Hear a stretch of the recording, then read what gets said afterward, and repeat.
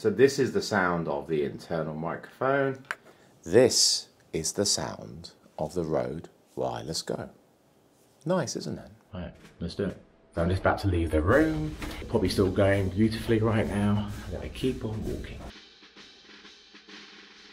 So there's this guy called Philip Bloom and he used to use big cameras, but now he can't bother to carry them anymore, so he uses smaller ones. I don't think you're hearing the wireless goes at their best right now. And that is simply down to the fact that the Canon has those really bad preamps.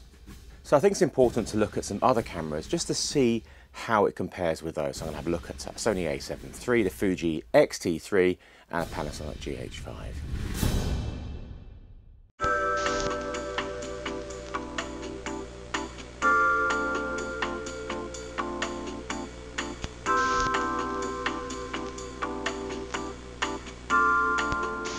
Before I do anything else, I need to establish that the sound that you're hearing right now is the camera mic of the Canon EOS R, uh, which is an interesting camera. Um, it's got a lot going for it, um, which is basically the autofocus, um, the flippy screen is useful for many things. Not for everything, but for many things.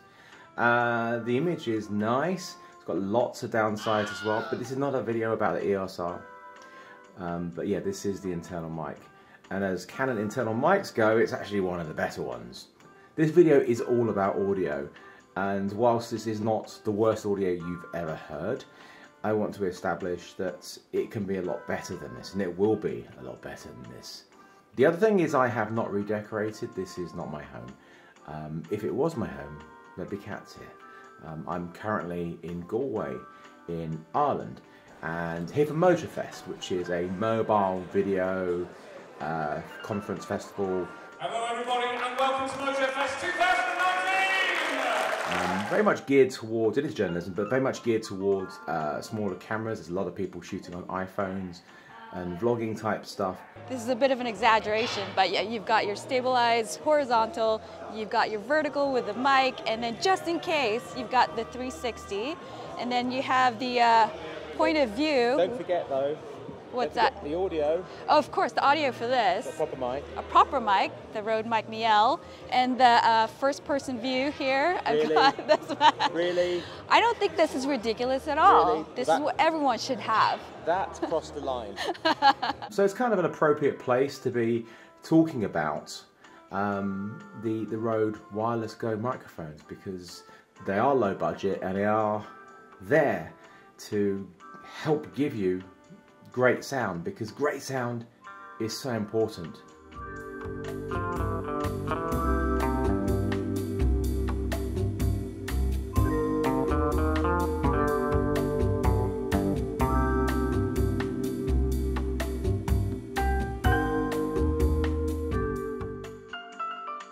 So this is the sound of the internal microphone.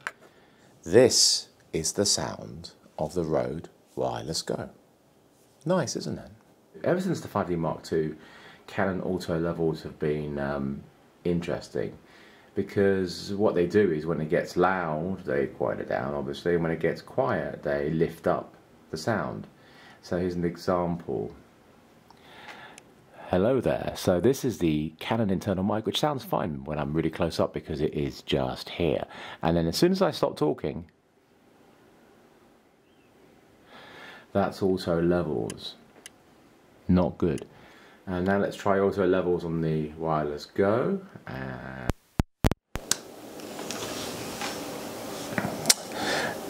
oh, that sounds. It's really lifting up stuff really badly. Tip number one turn off auto. So, manual levels now. This is what you want. I stop talking and nice. It doesn't lift it all up. And if I talk too loudly, it doesn't bring it down, which isn't so good. But so that's a separate thing. That's about setting your levels before you hit recording. I'm not going to talk that loudly.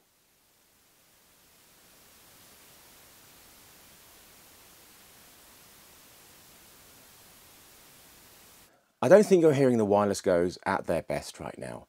And that is simply down to the fact that the Canon has those really bad preamps. The preamp is the way that the camera boosts the incoming audio signal to a recordable level. So I think it's important to look at some other cameras just to see how it compares with those. So I'm going to have a look at a Sony a7 III, the Fuji X-T3 and a Panasonic GH5. So right now we have the receiver set to minus 12 dB. You can hear his, right? That white noise you can hear is because we have the Wireless Go receiver set to its lowest volume point. That's minus 12 dB. Which means the camera's preamp needs to work harder. If we have a look at our settings, you can see that our levels are eh, fairly high up. Now you can clean up this white noise. It's actually very, very easy. You simply need to make sure that you get a noise print of maybe about, you know, let's say five, six, seven seconds of just the white noise. I'm using the Essential Sound panel in Premiere right now to remove that, or you could use Adobe Audition, or if you're using Final Cut Pro, I'm sure there is a way of doing noise reduction in there. But you'd rather not have to do all these fixes in post, would you? So to improve this, I am going to boost the level of the receiver. You can't change anything on the transmitter, it's all about the receiver. So that is our output level right now on that little triangle. Because it isn't filled in, that means it's at the lowest level, which is minus 12. We're just going to bring it up one step there. Now we're set to minus 6, now it's obviously a bit louder. So I'm going to bring the levels of the camera down. So one, two, three, four, five. There we go. So we have reduced, or a bit lower than that, but we still have noise, as you can hear if I stop talking. So let's boost that again to 0 dB. So now as I turn the levels down, we should hear a lot less white noise. It should sound cleaner. One, two, three, four, five. There are, of course, other variables. Basically, if somebody is a very loud talker, then you change your levels, or if somebody is very quiet, then you'd raise them. But what if you recorded your levels lower and then boosted it in post? How would it sound? Now at minus 6 dB, we need to increase our levels to the recording level, 1, 2, 3, 4, 5. So roughly about here. So let's have a quick listen to the white noise at this setting.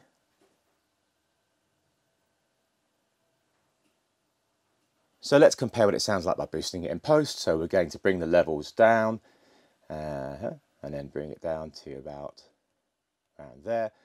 But I'm going to boost the levels in Premiere to the correct level and let's hear what the white noise sounds like here.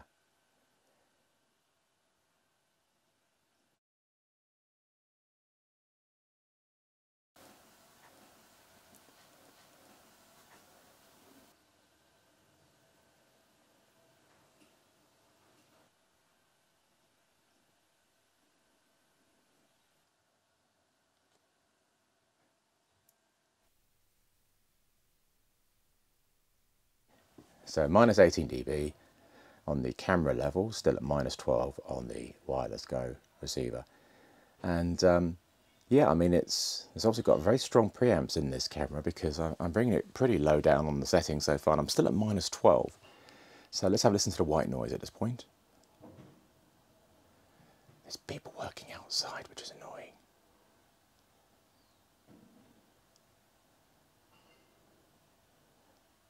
Okay, so let's bring the levels down even lower. and uh, there's no way I'm going to stop him at this point, so we're just going to put up with him. He's a lovely cat, so it doesn't matter. So we're now at minus 24, which is very low. Um, um, you can hear Bert purring in the background. This is a good recording level, and we are very low on the camera's uh, recording levels. So I haven't even managed to boost the actual uh, Rode Wireless Go. Um, let's try it though and see how clean we can get this.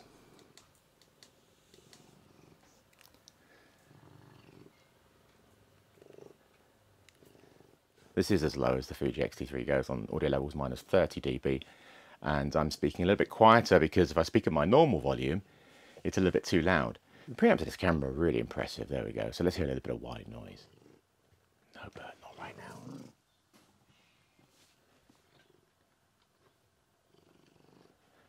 now. okay, let's move on to uh, another camera now. I'm at minus 12 right now on the Rode Wireless Go, so I need to bring this down uh, to a recording level uh, which is um, about here. So we're now at the lowest level that the GH5 can record at, minus 12 dB. Was it at minus 12 on the uh, Rode Wireless Go? I can't bring that any lower. It's very high. So in a way, actually, um, it'd be nice to actually have a minus 18 on the Wireless Go. Because on this camera, um, it's it's quite high. It's it's it's you know it's a little bit. I can't bring it down any lower.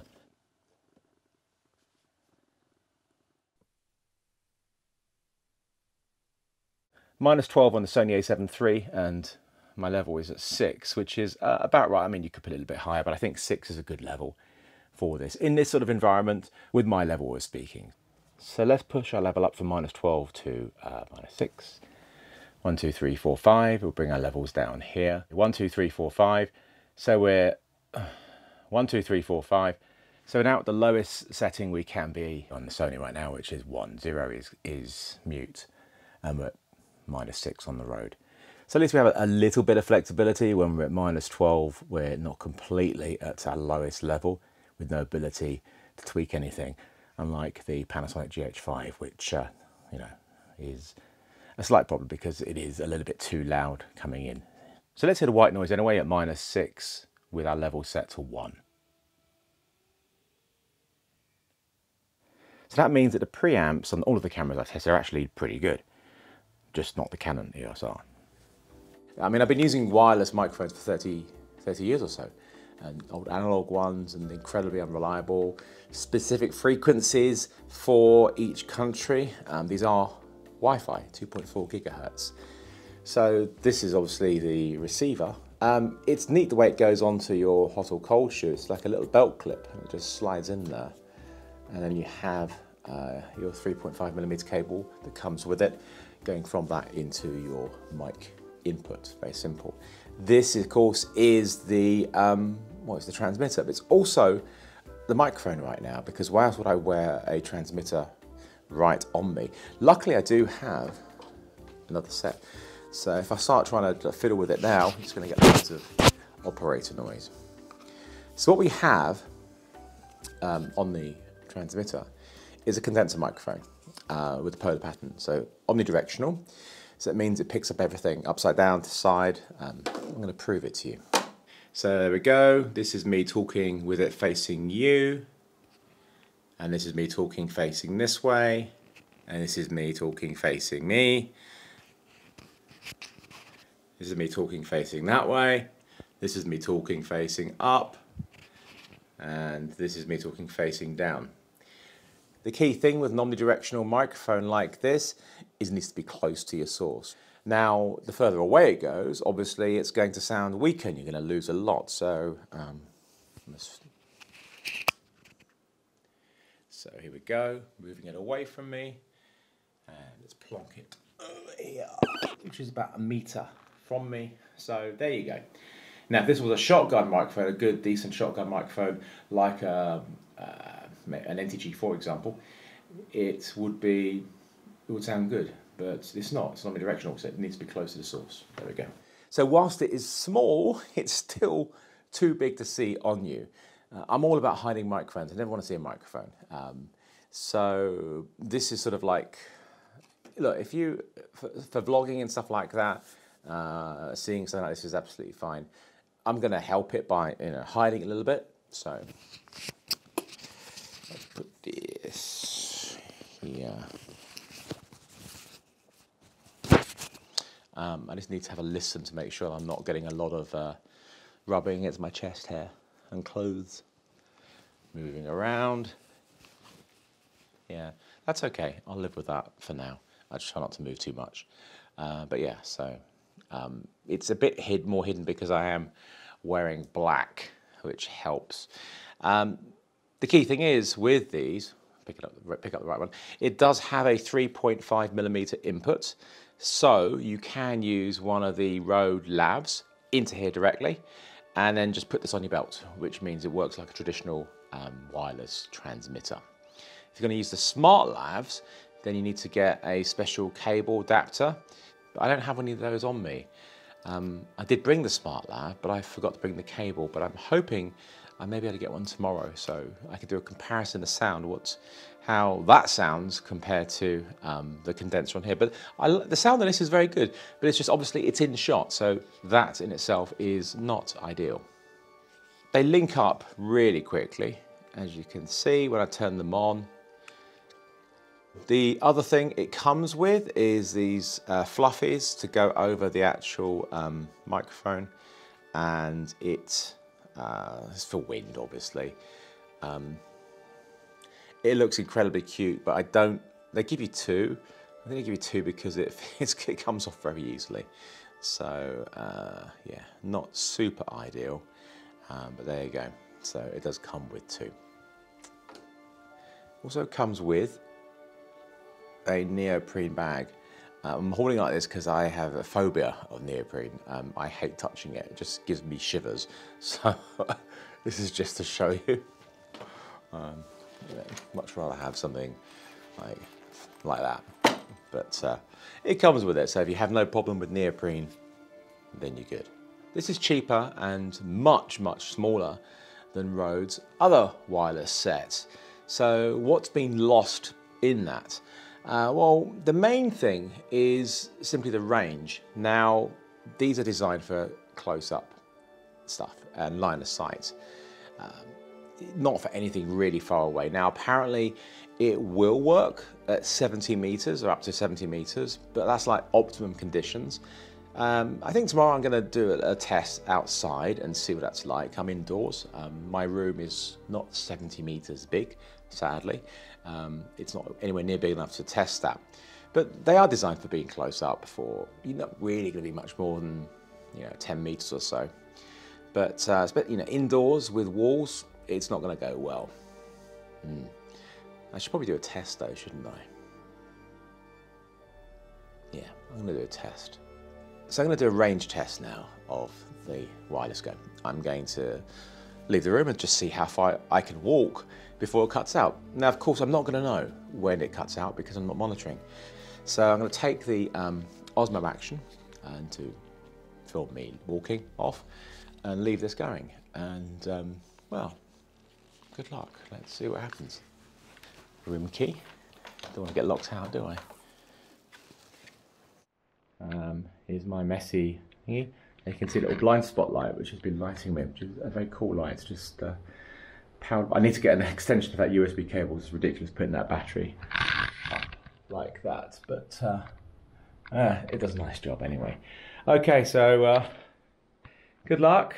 Uh, should be enough space on the card, easy enough space on the card, and it's a, a relatively fresh battery. So, okay, um, right, let's do it. Okay, so this is the audio on the uh, Osmo Action anyway. So I'm just about to leave the room. Here we go. I'm sure it's working beautifully still right now. Ooh, hopefully this key still works. Just check it. Yeah, I can get back in in a minute. So I keep on walking down and hopefully it's going to be amazing. It's still probably still going beautifully right now. I'm going to keep on walking.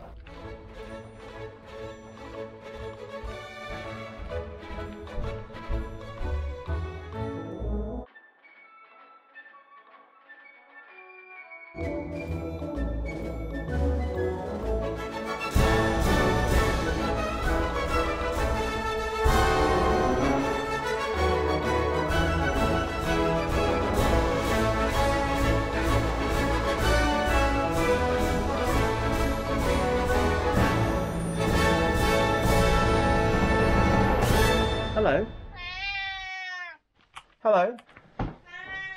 Hello. Jimmy. Hello. Hello. Okay, head back.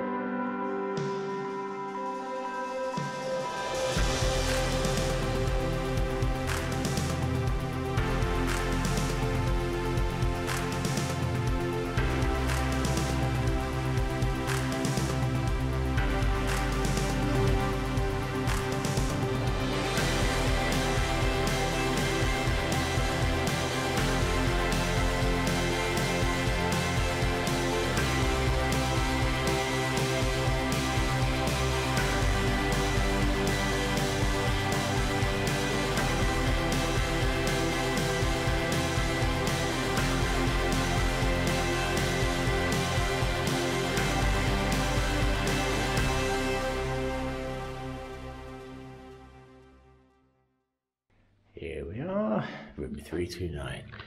Yeah, if you want to come say hello, uh, you know my room number now. Except I've left.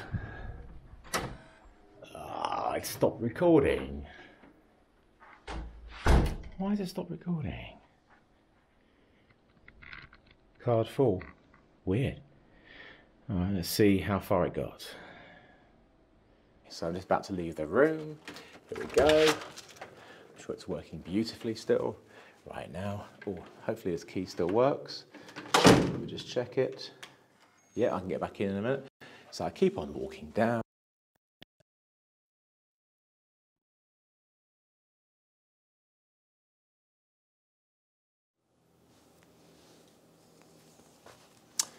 Well, that was disappointing. Not that far to the door. Uh, big, thick walls, thick door, line of sight. Remember, that's what it needs, line of sight. So yeah, it's um, it's late now tonight. So I will do a line of sight outside test tomorrow, and hopefully get my hands on an adapter to put a microphone into this. I don't have to have this on me like this.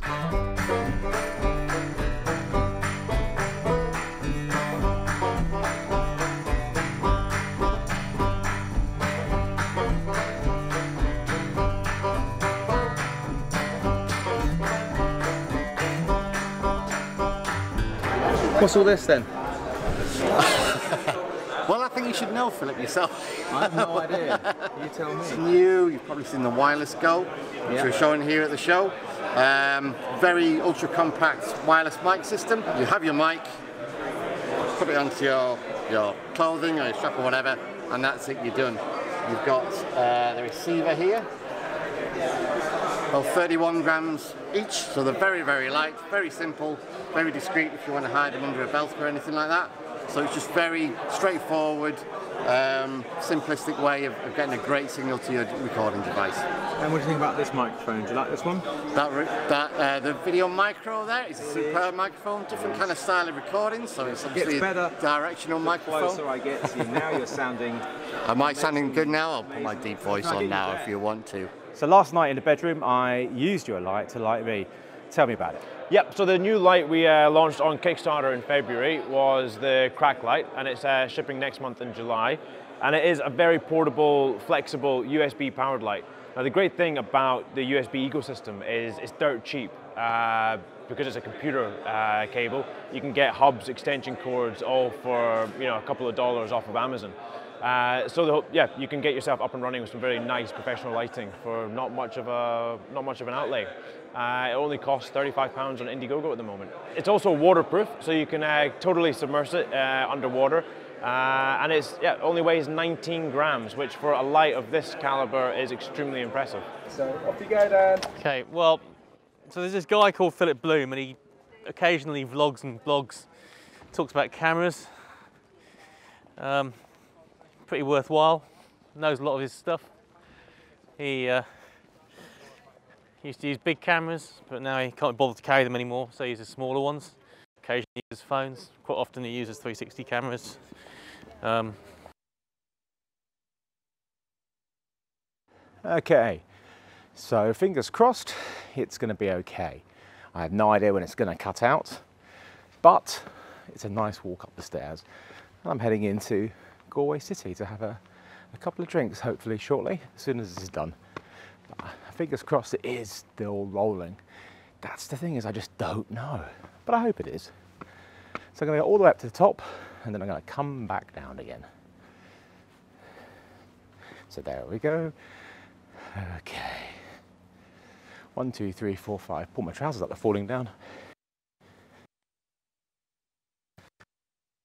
Walking back down, at some point, the microphone is going to be received again, and hopefully, this point is pretty clear. I mean, there is stuff either side of me, but direct line of sight. So, fingers crossed, it should be working beautifully. These, these are about this set is about short range, about working short range. It has this big distance that it quotes, but it's there to tell you that the shorter distance is where it's going to work best. If it can work, if it can get to 70 meters, that means it's going to work best a lot less. So fingers crossed, this was good. And I hope I was recording.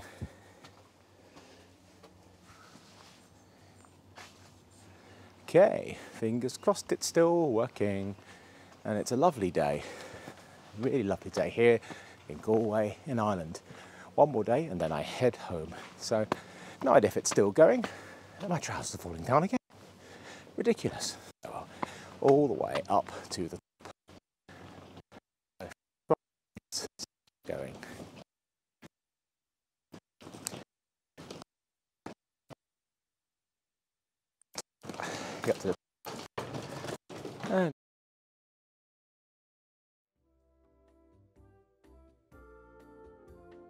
For $200, I don't know of any other wireless system that is of this quality, that is this good. I mean, it's just so small. I got it right now. The uh, transmitter slash uh, microphone is, I'm using this right now. But if you're using it with a Smart SmartLav Plus or a different uh, Rode Lav mic, then you can just use it you know, on the belt and it's so small that it's just not going to get in the way. And that's really important with um, a wireless system. I mean, having the microphone in shot like this is really not for me. Uh, I'm all about hiding microphones. So I do really recommend getting a SmartLav Plus, which would be the basic one, plus the correct cable. Like, I mean, like this, it's better, it's more hidden, but you've got to be careful if you're not monitoring, because, uh, you know, chest hair. So if you've got chest hair, um, then you could get a bit of rubbing or against the clothes more likely. I don't know why I went with chest hair, that's a bit strange. The negatives being really just the range. I mean, it's not designed for a big long distance. So uh, line of sight, it's worked pretty well. I think yesterday I got about 60 to 70 meters with the wireless transmitter uh, on my bum. And um, when I had my body shielding it, uh, maybe shave off about 10 to 15 meters for that but it is designed to be close up. Uh, when it's you are trying to go through anything like I did with the hotel door and stuff, yeah, it doesn't work very well at all. But you know, with line of sight, with a reasonable distance, most likely you're never going to go past like 10 meters, and and that'll work really well. So the only other negative is actually part of the positive in that it's the way that it is designed to actually mount on here. Now, if you are using a, you know, you've got a monitor on there or, or something else, um, you know, you can clip this onto a strap or something else because it is a clip. And the clip goes onto your cold shoe or your hot shoe. But the uh, downside is it isn't lockable, so it could it could slide off. If you've got it around your neck and stuff, um, it could fall off and the cable would stop it, hopefully. Um, so that is kind of the only real negative. You know, it would be nice if you could have this in the video micro on here, uh, a locking connector but uh, it doesn't have it, so a bit of gaffer tape uh, would be a good solution for this. So there you go, um, I've got to pack up because I am going back home to England. In a much shorter follow-up video, I'm going to show you how to get two separate channels out of your mirrorless or DSLR camera, even though you only have one input. So you can use two sets of wireless goes or two different types of microphones. This is left, this is right, this is left, this is right. Okay.